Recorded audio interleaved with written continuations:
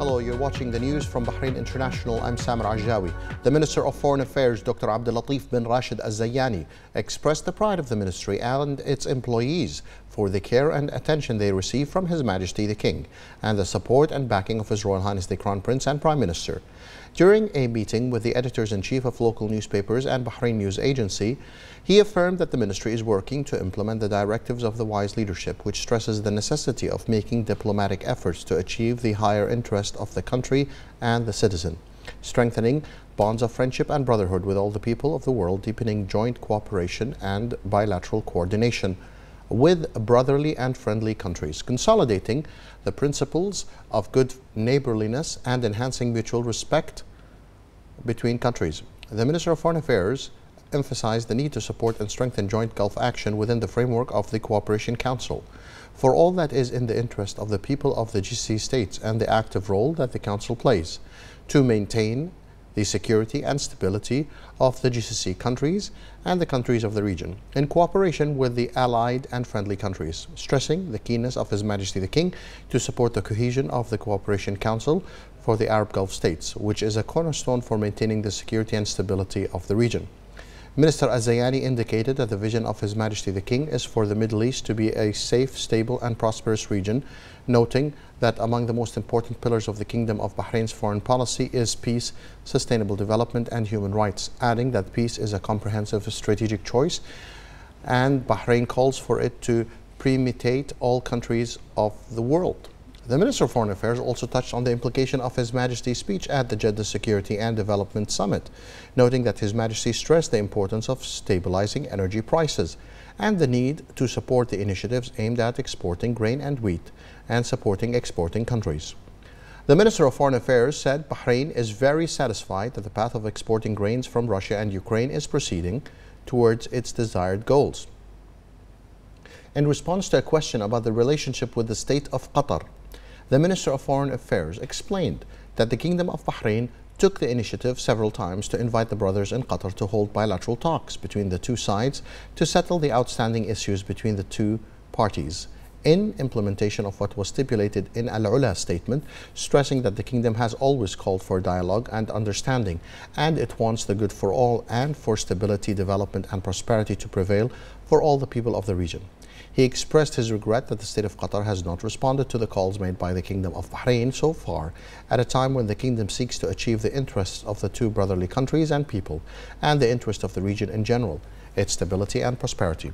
He added that the Kingdom of Bahrain believes that it is not correct to leave the pending matters without taking any action regarding them. Therefore, the responsibility rests with the brothers in Qatar who did not respond to the repeated invitations addressed to them by the kingdom, stressing that the Kingdom of Bahrain is keen on brotherly relations with Qatar, and the door is still open for dialogue and understanding bilaterally, according to Al Ula statement, on all the outstanding issues that require research and treatment. Among them, for example, the issue of Bahraini fishermen, the importance of maritime coordination, aviation, and other matters. The Minister of Foreign Affairs expressed appreciation for the response of the brothers in the state of Qatar to the decision of the Kingdom of Bahrain to allow the movement of all citizens of the GCC countries and entry to the Kingdom of Bahrain through all ports using the identity card or passport without any prior procedures.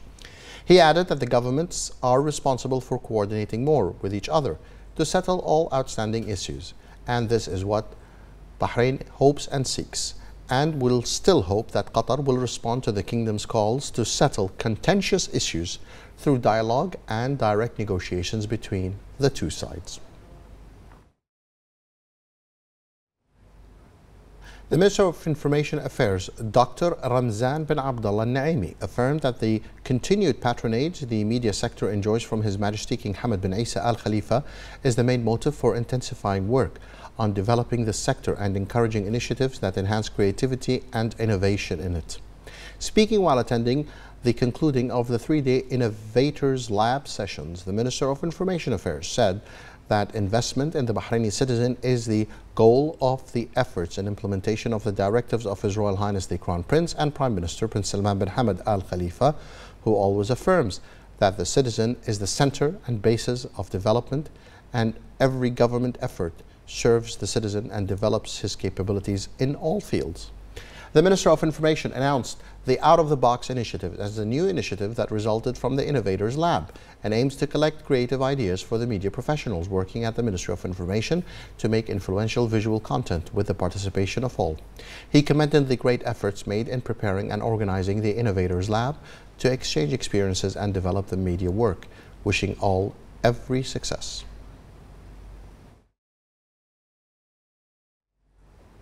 Under the patronage of the chairman of the Supreme Council of Health, Lieutenant General Dr. Sheikh Mohammed bin Abdullah Al Khalifa, the Kingdom of Bahrain will organize the Manama Health Conference and Exhibition during the period from the 10th to the 13th of December 2022 in cooperation with the Arab Republic of Egypt.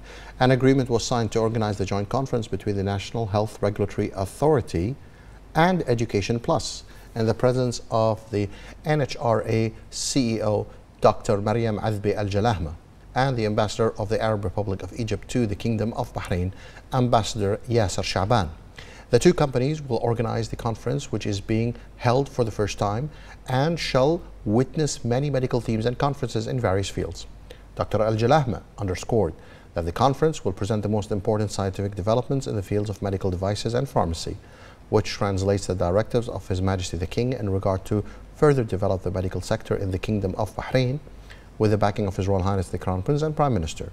She also noted that the conference shall be an ideal opportunity to exchange experiences between hospitals and to seek important agreements and investments between the two countries.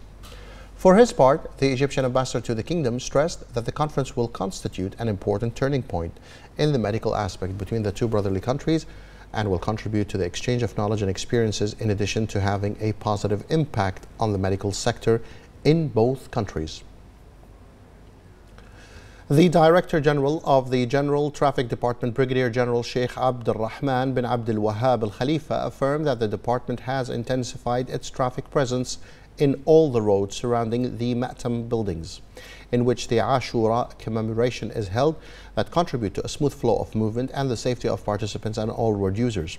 These efforts are based on the directives of the Cabinet headed by His Royal Highness the Crown Prince and Prime Minister to provide a safe environment and facilitating all the needs and requirements in a manner that contributes to the success of the Ashura season.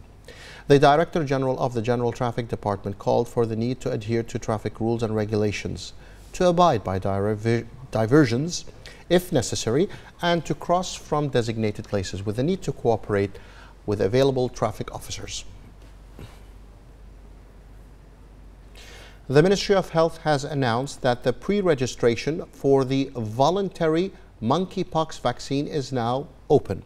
Citizens and residents can register through the website healthalert.gov.bh or by calling the 24 by 7 hotline number 444.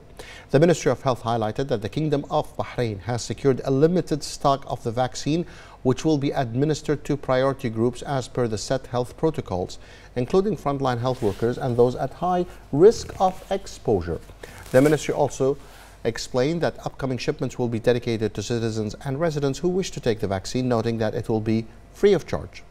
The ministry has put in place relevant protocols related to testing, isolation and treatment based on the Global World Health Organization recommendations and standards. The Minister of Health, Dr. Jalila bin Sayed Jawad, issued Edict 28 of 2022 regarding isolation protocols for those who contract the virus and those suspected of being in contact with a positive case. The edict stipulates that the medical isolation period is for 21 days from the day of the confirmed result or from the day of contact with a positive case.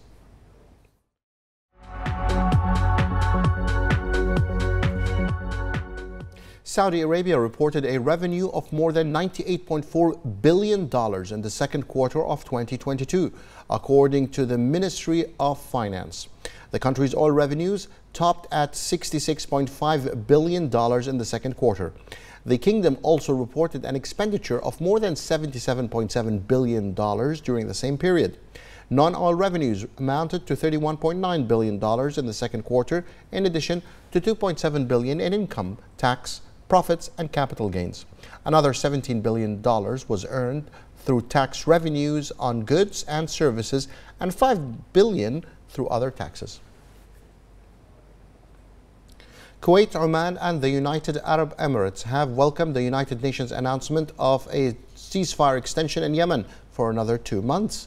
The UN Special Envoy for Yemen, Hans Grundberg, announced another extension of the fragile ceasefire between the warring parties on Tuesday, pledging to ramp up the talks for an expanded ceasefire agreement. He said the truth extension includes a commitment from the parties to intensify negotiations to reach an expanded ceasefire agreement as soon as possible. This week, U.S. President Joe Biden also welcomed the agreement and also thanked Saudi Arabia and Oman for their mediation roles.